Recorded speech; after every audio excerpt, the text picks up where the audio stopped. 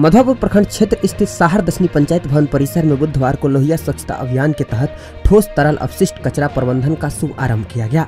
मौके पर अंचलाधिकारी राम कुमार पासवान, मुखिया प्रतिनिधि बेचन सहनी, स्वच्छता समन्वयक निसार अहमद ने हाथ रिक्शा को हरी झंडी दिखाकर रवाना किया।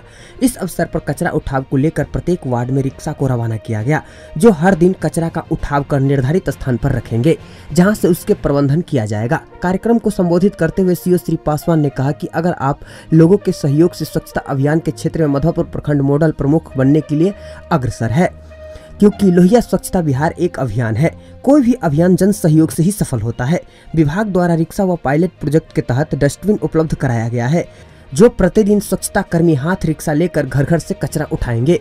मौके पर वार्ड सदस्य प्रदीप यादव, श्रवण यादव, कमेश्वर यादव, कुसे मंडल, रामनाथ राउत, सुनील सहनी समेत अन्य लोग मौजूद थे।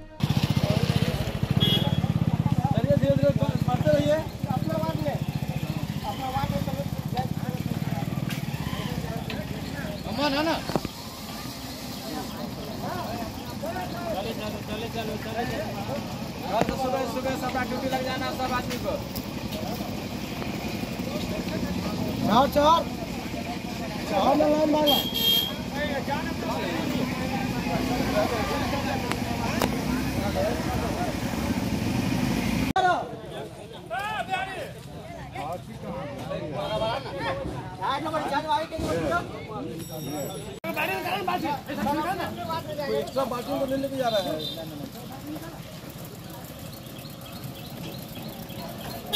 देखो भाई, आजकल तेज धूप और लू से लोग काफ़ी परेशान हैं। इससे बचने के लिए कड़ी धूप में बाहर मत निकलना। और यदि निकलना भी पड़े तो भरपेट भोजन करके ढीले ढाले सूती कपड़े, जूते या चप्पल पहनकर ही निकलो। साथ में भीगा हुआ तौलिया और पानी ज़रूर रखना है। तापमान अधिक हो तो आप लोग मेहनत या मजदूरी ज़्यादा नहीं करिएगा। खाना कम खाना है और पानी ज़्यादा पीना है।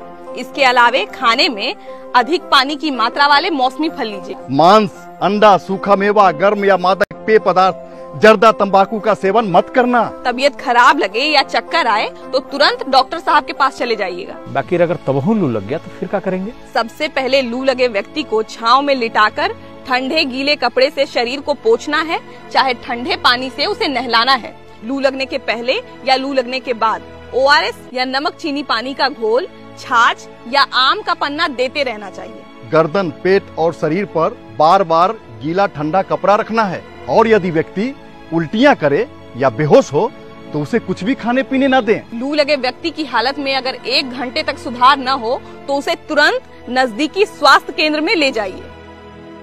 आप हमारे मधुबनी न्यूज़ को फेसबुक पे देख रहे हैं तो पेज को लाइक करें यूट्यूब से देख रहे हैं तो हमारे चैनल को सब्सक्राइब करें और बेल आइकन को दबाना ना भूलें।